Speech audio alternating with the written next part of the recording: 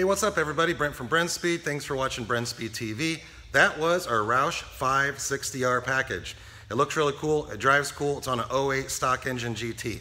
It's a great supercharger you can grow into down the road. This is also running a set of Pypes headers and a set of our favorite Detroit rocker camshafts. Let's take a look on the dyno.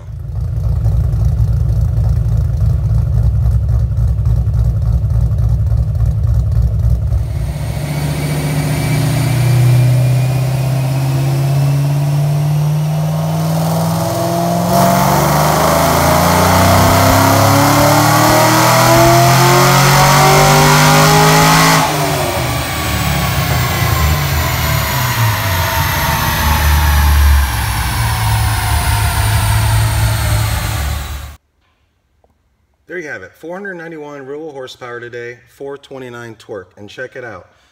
I went wide open at 3,000 RPMs, solid torque, over 400, all the way across. And I love the sound of the Detroit Rocker camshafts. This is a great supercharger package. Like I said, this is a stock engine car. It's our 560R. It's a packaging grown to. So we have a bunch of these on cars, making over 600 of the tires. Right there is 490. We have a stock engine, keeping the torque below 450 is where we want it, and then we're at 429, perfect. This car's running 93 octane fuel. So if you have questions about this package, leave a comment. I'm happy to answer. This is Brent from Brenspeed. Please subscribe so you're gonna stay up to date. Thanks again. Have a great day.